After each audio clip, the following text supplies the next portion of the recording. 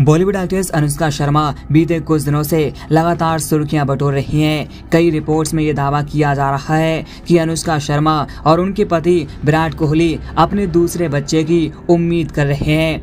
अनुष्का शर्मा के दूसरी बार प्रेग्नेंट होने की खबरों ने फैंस के बीच तहलका मचा दिया है।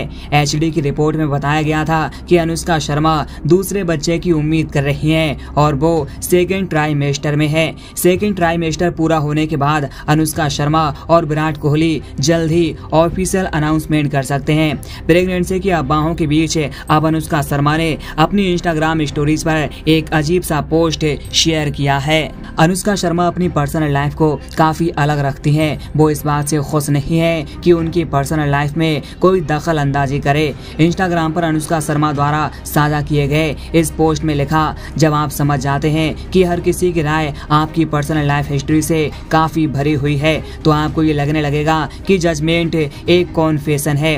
अनुष्का शर्मा के इस पोस्ट के बाद लोगों ने एक्ट्रेस से कई तरह के सवाल पूछने शुरू कर दिए हैं। कईयों ने अनुष्का शर्मा के प्रति चिंता दिखाई है।